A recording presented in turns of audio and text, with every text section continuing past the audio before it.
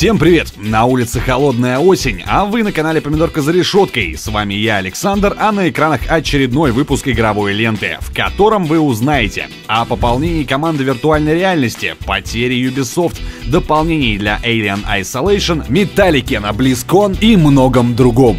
А в конце же я вам расскажу о тех проектах, на которые стоит обратить внимание на этой неделе. Поехали!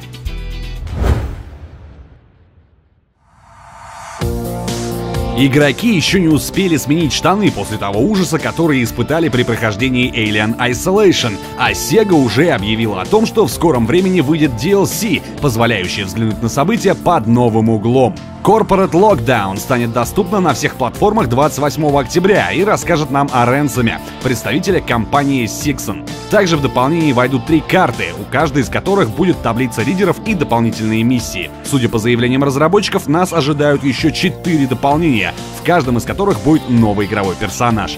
Эта новость наверняка порадует любителей ужасов и вселенной чужих. Кстати, о выдуманных вселенных. Расскажите нам в комментариях, а какая ваша любимая вселенная и почему. Многие из нас помнят, что Кейси Хадсон, гейм-директор Mass Effect, в августе покинул BioWare. С тех пор от него абсолютно не было никаких известий. Некоторые даже боялись, что он решил навсегда покинуть игровую индустрию и применить свои таланты в другой сфере.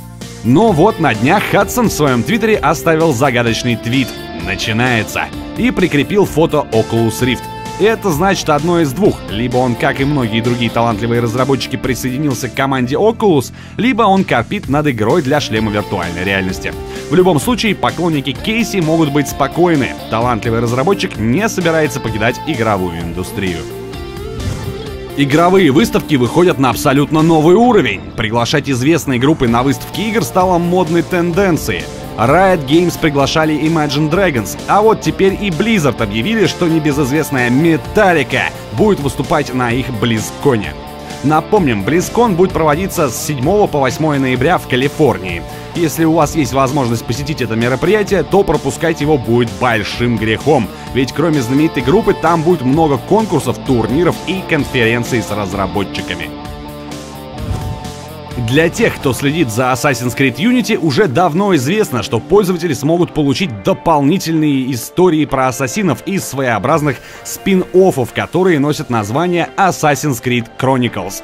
И хоть пока неизвестно, как будут распространяться эти хроники, но разработчики уже с уверенностью рассказывают о том, что эпизоды будут повествовать об ассасинах из разных уголков Земли, и что стиль рисовки будет специально адаптирован под временную эпоху. Представители Ubisoft намекают, что в первом эпизоде этих хроник они расскажут о неком любимчике сообщества Assassin's Creed.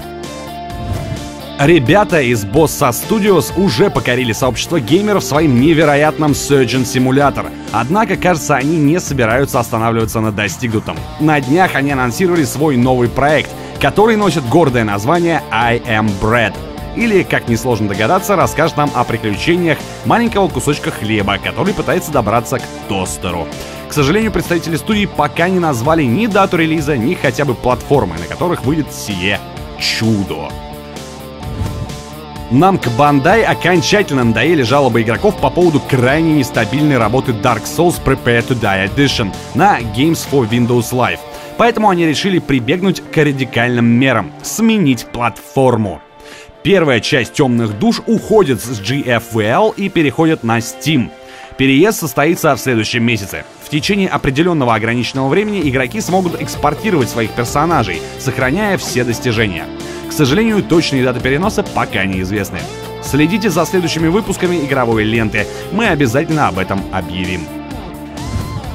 В интернете можно найти много слухов о том, что Half-Life 3 разрабатывается. Фанаты ищут намеки в каждом заявлении от Valve и выражают все свои желания и надежды о будущем проекте на форумах. Однако Крис Сейлом и Кайл Мейзи решили пойти даже дальше. Они запустили краудфандинговую кампанию и просят у людей 50 тысяч долларов, чтобы они могли полноценно досаждать сотрудников Valve до тех пор, пока те не выпустят Half-Life 3. За 3000 долларов они запустят рекламу в Google, нацеленную на всех 300 сотрудников компании. За 9000 долларов они подгонят к офису Valve грузовик с рекламным щитом, на котором будет написано «Мы хотим Half-Life 3». За 45 тысяч они наймут двойников Гейба, которые будут толпиться у входа в офис и требовать Half-Life 3. А за 150 тысяч они организуют концерт в Сиэтле, на который будут приглашены все сотрудники Valve и фанаты их творчества. На данный момент ребята собрали 1200 долларов. Хочется пожелать им лишь удачи. Ubisoft несет очередные потери. Небезызвестная Джейд Реймонд, девушка, которая несколько лет занимала должность управляющего директора студии Ubisoft в Торонто, решила покинуть компанию. Джейд проработала во французской компании около 10 лет. Она приложила свою руку к серии Assassin's Creed, к Tom Clancy's Splinter Cell Blacklist и к Watch Dogs. К сожалению, Реймонд не спешит делиться своими планами на будущее, поэтому неизвестно, покинет ли она игровую индустрию навсегда или же просто займется чем-то новым. А может последует примеру Кейси Хадсона и поможет с разработкой шлема виртуальной реальности. Кто знает.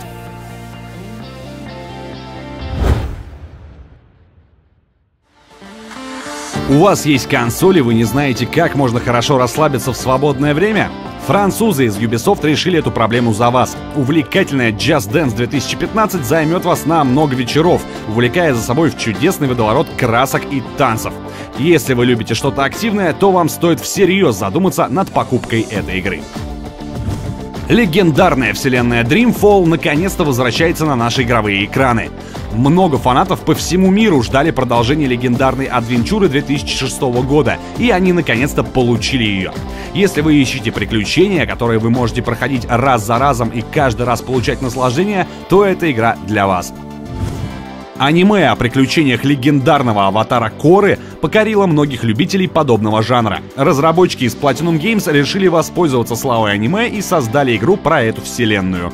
Если вы фанат первоисточника, то уверен, управлять полюбившимися героями для вас будет интересно. Если же вы не знакомы с аниме, то стоит сперва посмотреть, чтобы понимать, что к чему. Наконец-то случилось то, чего вы столь долго ждали. Состоялся релиз новой части серии. Игра позволит вам отправиться в космическую экспедицию во имя нахождения нового дома для человечества за пределами любимой голубой планеты. Задача состоит в колонизации чужой планеты и, естественно, создании и развитии цивилизации. Даже если вы фанат серии и вас уже действительно сложно удивить, стоит попробовать новую часть цивилизации, ведь она обещалась быть кардинально новой, отличающейся от прошлых частей. Что ж, на этом все. Это были самые значимые события игровой индустрии за последнее время. Рассказывал вам о них я, Александр. Ну а если вы хотите знать больше, то не пропускайте новые выпуски наших дайджестов. Все самые сочные инди-игры в Indiegogo и свежие подробности о ММО-мирах в быстром смотре. Ну а мне с вами пора прощаться. До новых встреч на просторах нашего развлекательного портала. Пока!